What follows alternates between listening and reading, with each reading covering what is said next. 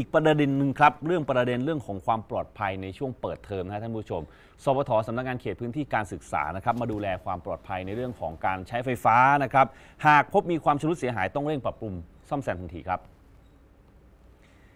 นายสุรศักดิ์พันธ์เจริญวรกุลรัฐมนตรีช่วยว่าการกระทรวงศึกษาธิการสั่งการให้โรงเรียนนะครับดำเนินการมาตรการความปลอดภัยในสถานศึกษาให้ครบทุกมิติ และก่อนหลังเปิดภาคเรียนก็ย้ำมาตลอด ให้มีการตรวจสอบอุปกรณ์ใช้งานในโรงเรียนว่าจะเป็นระบบไฟฟ้าในโรงเรียน สภาพอาคารเรียน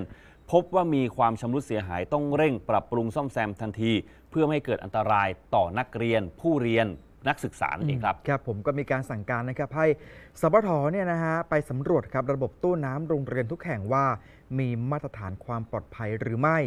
โดยหากพบตู้กดน้ำในโรงเรียนใดไม่ได้คุณภาพ ก็ขอให้ยกเลิกการใช้งานทันทีนะครับเพื่อความปลอดภัยของนักเรียน และให้จัดทำระบบอื่นมาทดแทนครับ ซึ่งเท่าที่ทราบรับทราบนะครับข้อมูลตู้กดน้ำในโรงเรียน มีการใช้งานมานานแล้วครับโดยเป็นระบบบริการเสริมในโรงเรียนที่จะทำให้เด็กได้ดื่มน้ำเย็น แต่ปัจจุบันครับยุคสมัยมีความเปลี่ยนแปลงไป ก็อยากให้โรงเรียนเนี่ยปรับระบบบริการเสริมกู้ตู้กดน้ำแบบอื่น ที่ไม่อันตรายต่อนักเรียนนะครับ เพราะการใช้งานของตู้กดน้ำจะต้องมีอุปกรณ์ การใช้งานสายไฟที่ต้องฝังลงดิน เพื่อไม่ให้เกิดการไฟรั่วไหลนะครับ ดังนั้นหากระบบดังกล่าวไม่ได้รับการตรวจสอบดูแล ก็อาจจะเกิดปัญหาใช้งานได้ ซึ่งตนอยากให้โรงเรียนสำรวจมาตรฐานตู้กดน้ำดื่มทุก ๆ เดือนด้วยนะครับ